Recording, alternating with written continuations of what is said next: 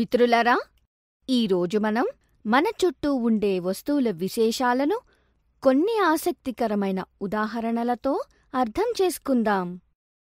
అప్పు చూడు ఇక్కడ కొన్ని వస్తువులు పెట్టి ఉన్నాయి. గోళీ లంచ్ బాక్స్ మరియు టిండబ్బా ఇది నువ్వు చెప్పగలవా?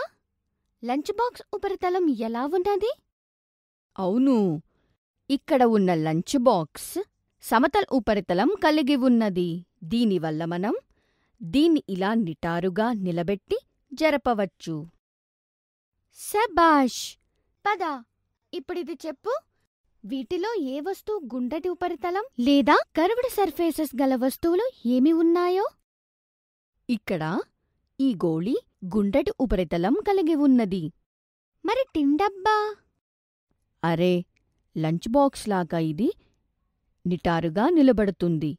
కాని గోళీలాగా గుండటి ఉపరితలం కూడా ఉన్నది. కాబట్టి దీని ఉపరితలం గుండ్రమా? లేక చదునా? దీని ఆకారం స్థూపాకారం. అంటే సిలిండర్లా ఉన్నది. స్థూపాకార గల వస్తువులు వాటి ఉపరితలాలు గుండ్రంగా ఉంటాయి. అలాగా. నాకు అర్థమైంది.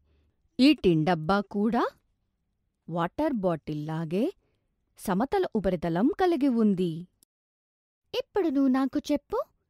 వీటిలో ఉన్న ఏ వస్తువులను మనం జరపవచ్చు? ఇది చాలా సులభం. చూడు ఈ లంచ్ బాక్స్ యొక్క ఉపరితలం చదునుగా ఉంది. దీనిని మనం బంతిలాగా దొర్లించలేము.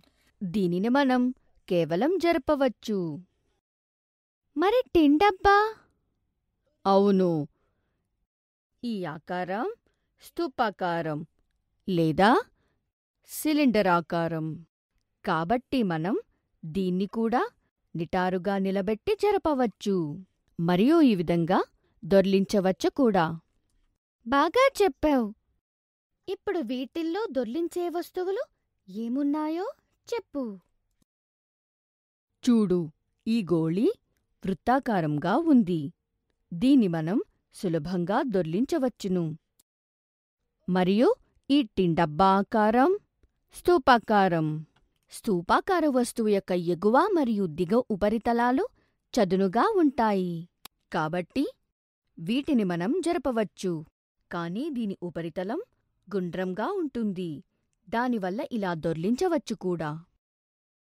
అరే ఫా అప్పు! వీటిలో ఏ వస్తువులను దొర్లించవచ్చునో? ఏ వస్తువులు జరపవచ్చునో? మరియు ఏ వస్తువులను జరపవచ్చు మరియు దొర్లించవచ్చునో? నీకు చాలా బాగా అర్థమైంది కదా? మిత్రులారా ఈరోజు మనం మన చుట్టూ ఉన్న వస్తువుల లక్షణాల గురించి కొన్ని ఆసక్తికరమైన విషయాలను అర్థం చేసుకుందాం. ఎలాగంటే చదునైన ఉపరితలం గల వస్తువులను జరపవచ్చును. గుండ్రటి ఉపరితలం గల వస్తువులను దొర్లించవచ్చును. మరియు స్తూపాకారం గల వస్తువులను జరపవచ్చును మరియు దొర్లించవచ్చును. మీరు కూడా మీ స్నేహితులతో కలిసి చదునైన ఉపరితలం మరియు గుండ్రటి ఉపరితలం కలిగిన కొన్ని వస్తువుల గురించిన సమాచారాన్ని సేకరించవచ్చును.